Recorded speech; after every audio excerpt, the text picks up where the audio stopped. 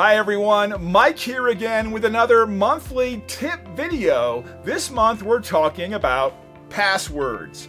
Here's the question How strong do you think your passwords are? No, that doesn't mean have your passwords been hacked yet. Those are not the same questions.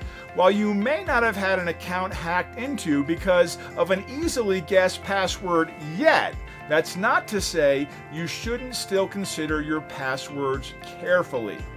Now, despite the fact that passwords are the most direct way to access a user's private information, most passwords in use today are not considered to be strong or complex enough.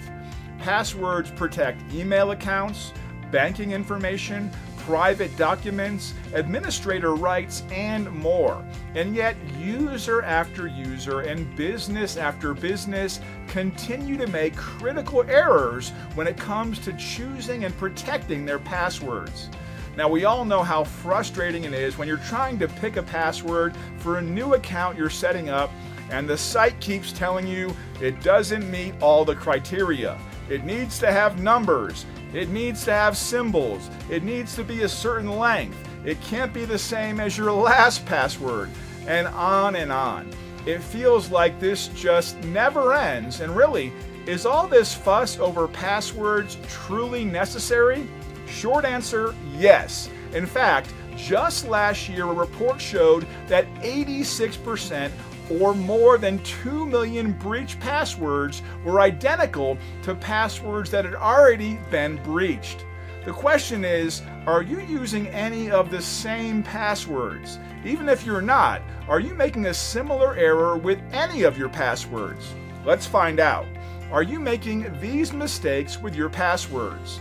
Find out for sure by considering these three common password mistakes length and complexity. Now keep in mind that the easier it is for you to remember a password, the easier it'll be for a hacker to figure it out. That's why short and simple passwords are so common. Users worry about forgetting them, so they make them too easy to remember, which presents an easy target for hackers. Numbers, case, and symbols. Another factor in the password's complexity is whether or not it incorporates numbers, cases, and symbols. While it may be easier to remember a password that's all lowercase letters, it's important to mix in numbers, capitals, and symbols in order to increase the complexity.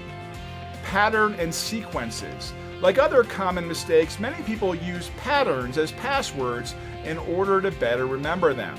But again, that makes the password really easy to guess. ABC123 or the first row of letters on the keyboard, QWERTY, etc., are extremely easy for hackers to guess. All of this is to remind you not to let a weak password put you at risk. In the end, creating and using strong passwords can be frustrating, but it's incredibly important.